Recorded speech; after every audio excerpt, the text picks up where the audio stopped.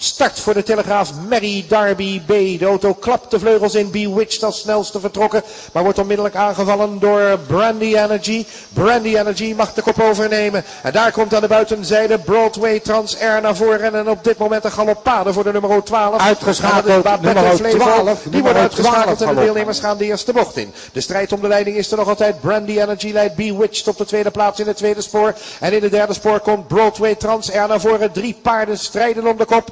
En die strijd wordt vooralsnog gewonnen door Broadway Transair. Op de tweede plaats Bewitch, derde Brandy Energy. Aan de buitenzijde komt Bonami ST als de vliegende hinde naar voren hier met Carolina Albers, de dame in het gezelschap.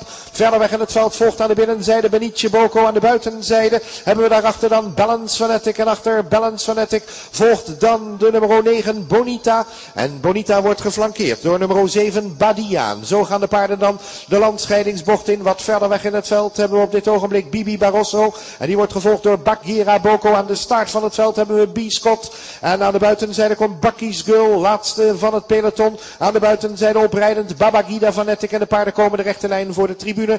Voor de eerste maal in onder aanvoering van Broadway Transair. Broadway Transair brengt Uitgeschakeld nummer Paard in de rechterlijn voor de tribune. 16 Broadway transfer. 16 Babangida van Ettek is inmiddels uitgesloten. En het is aankop van het veld. Als de paarden zo dadelijk de laatste ronde ingaan. De nieuwe leider die we hier hebben. En dat is Langeweg junior met Bibi Barroso. Broadway Transair moet zich schikken in tweede stelling. Bewitched is derde. Daarachter Bonami ST met aan de binnenzijde. Daarachter Brandy Energy. En zo gaan we de laatste ronde in. Wat verder weg hebben we dan ook nog Balance Fanatic.